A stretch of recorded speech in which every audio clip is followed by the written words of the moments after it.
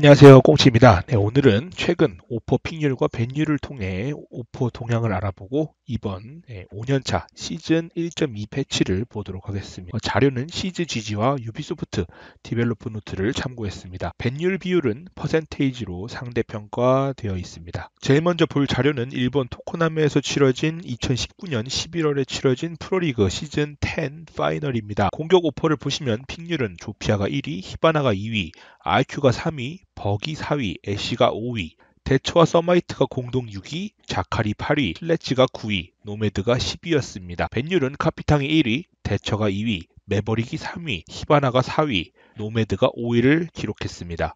공격 동향을 보면 우선 조피아가 거의 필수로 들어갑니다. soft breacher 역할 겸 다재다능한 오퍼이기에 높은 pick률을 기록했고요. hard breacher이면서 동시에 peeker로서도 손색 없는 무기를 가지고 있는 히바나가 2위를 차지했습니다. 사실상 공격에 유일무이한 intel anti intel 오퍼인 IQ는 지속적으로 높은 pick률을 가지고 있고요. 어, vertical을 위한 벅과 entry를 위한 애쉬가 상위권을 기록했습니다. 방어를 보시면 pick률은 예거가 부동의 1위, 스모크가 2위, 마에스트로가 3위, 모지가 4위, 발키리가 5위를 차지했고 ban율은 에코가 1위, 미라가 2위, 마에와 발키리가 공동 3위, 예거가 5위를 차지했습니다. 두 번째로 볼 자료는 2019년 6 마스터즈 리그입니다.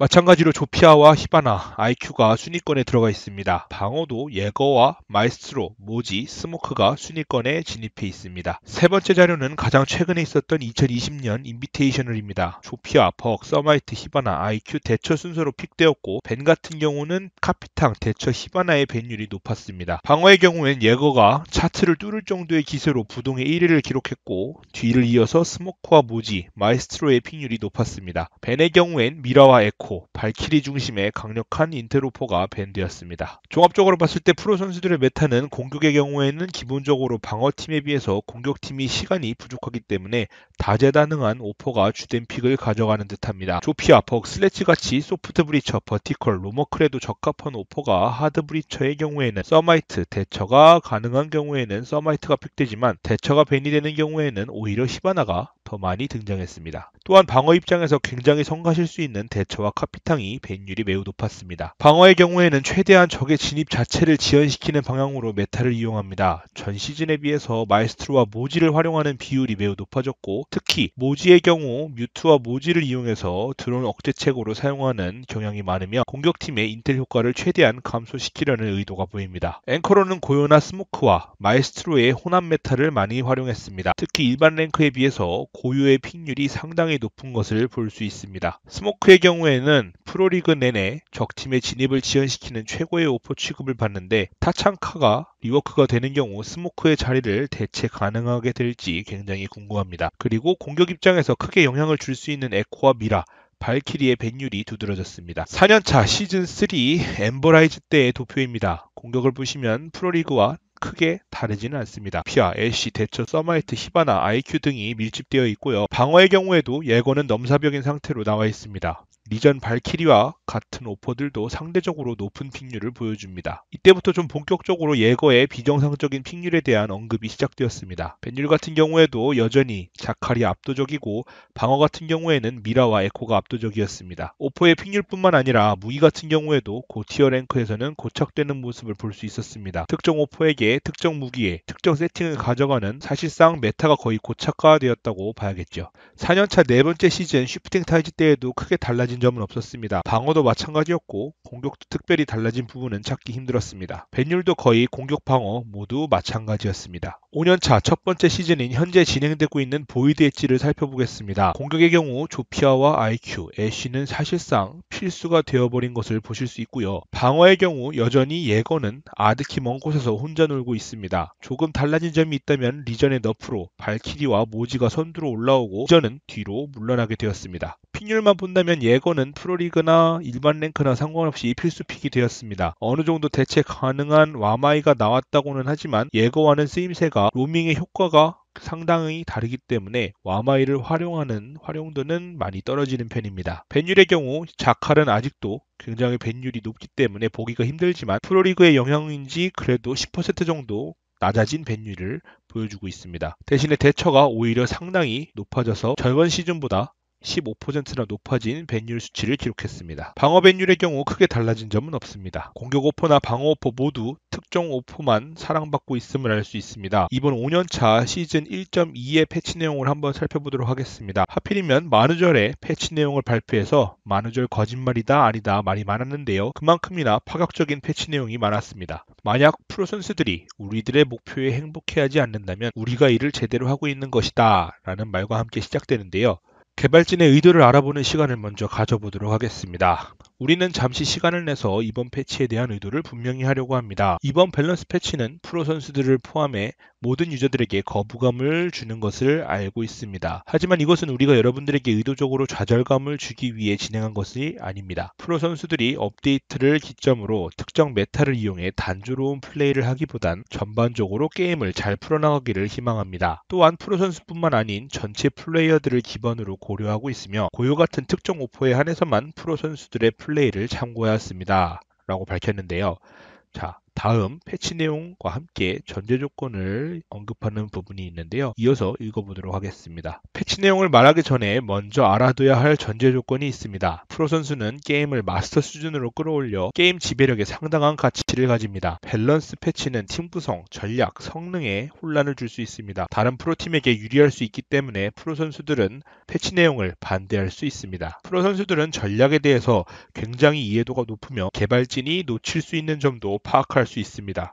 즉, 저희는 패치에 대해서 결정하기 전에 프로 선수들의 데이터와 일반 유저들의 데이터가 균형을 이루기 위해서 노력합니다. 개발진은 프로 선수들에게 밸런스 패치에 대한 정보를 제공하는 것은 중요합니다. 프로 선수들이 제공해주는 피드백에 어떻게 대항할 것인지 조율하고 개발진은 선수들의 의견과 다른 이유를 설명해야 합니다. 마지막으로 개발진은 프로 선수들의 피드백뿐만 아니라 게임 내의 모든 데이터를 모니터링하고 수집합니다. 프로와 플레이어들의 피드백 및 데이터를 참고하여 최선의 밸런스를 맞추기 위해서 노력합니다. 또한 최근의 변경 사 항과 이전 커뮤니케이션에 대해 제기된 문제를 해결하기 위해 계획을 세우려고 합니다. 중요한 주제에 대해서 프로 선수와 의견이 맞지 않는 경우 추가적인 상황 설명을 포함하도록 개선할 예정입니다. 모든 유저들과 함께 토론회 장을 만들 것입니다. 모든 주제에 해당되는 것은 아니지만 보다 중요한 주제에 대해서는 이를 수행할 것입니다. 대표적인 예로 이번에 예거가 light armor에서 medium으로 변경되는 이런 사항들을 예시로 들었습니다. 플레이어의 기본 변경 사항 중에서 어떤 섹션을 목표로 패치가 되는지에 대한 정보를 제공할 예정입니다. 테스트 서버에 변경 사항을 배포하기 전 개발진 노트 업데이트를 제공하여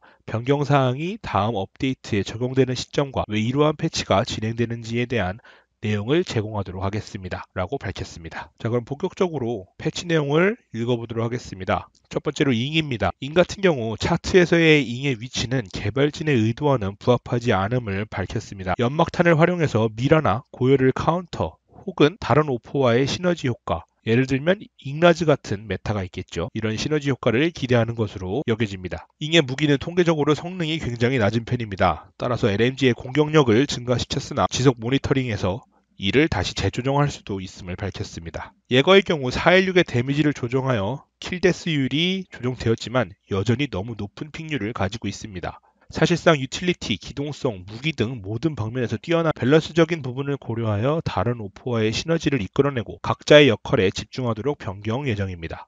여전히 더 많은 옵션이 고려 사항에 있으며 계속 예거를 모니터링할 예정이라고 합니다. 개인적인 의견으로 예거는 이번 nerf를 통해서 큰 타격을 받은 것은 사실이지만 계속해서 굉장히 높은 pick률이 지속될 수도 있다는 생각이 듭니다. ADS 같은 gadget은 사실상 방어팀에게 굉장히 중요한 핵심 가젯이기 때문에 지속적으로 pick이 될 것으로 예상되며 ADS가 3개에서 2개로 줄어드는 한 번에 더 nerf를 겪을 수도 있다는 루머가 있습니다. 다음으로 모지입니다. 사실상 모지는 현재 만능 오퍼입니다. 좋은 무기와 C4, 정보 제공과 차단, 공사와 로밍 등 모든 역할이 수행 가능합니다.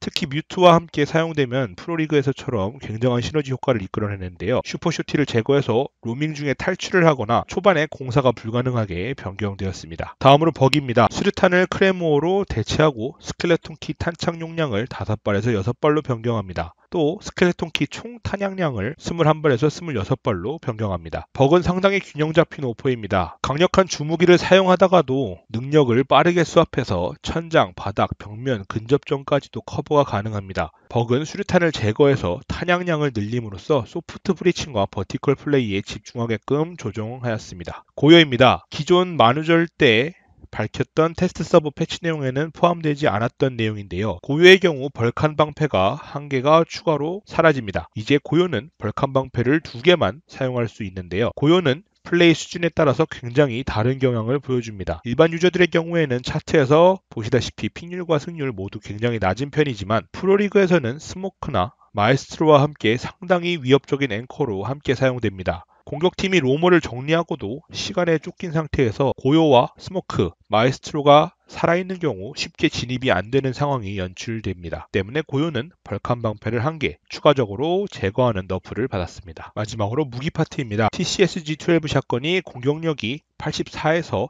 57로 감소합니다. 또 총 탄약량이 51에서 61로 증가하게 되었습니다. 고요와 카이드의 주무기인 이 slug shotgun은 굉장히 공격적입니다. 단 두 번의 body shot만으로 대부분의 오퍼들을 떡실신시키는데요. nerf로 변경 후에도 근접 공격 시 1, 2 armor는 두 발로, 3하머는 세 발을 필요로 하기 때문에 사실상 큰 nerf는 아니라고 생각됩니다. 하지만 원거리 공격 시에는 거리에 따른 damage 하락이 있기 때문에 계산을 잘 하셔야 합니다. 오히려 원거리 공격 시에는 권총이 더 이득일 수도 있습니다. 다음으로 에밀리 기관단총입니다. 레이저 holographic optic이 추가되었는데요. 프로스트의 C9에 holographic이 추가되었고 또 비질의 떡배에 ACOG가 추가로 제공됨에 따라서 카베이라의 SMG에도 레이저 홀로그래픽을 장착할 수 있는 옵션을 제공하기로 결정하였다고 합니다. 지금까지 꽁치였고요. 다음 소식으로 또 뵙겠습니다.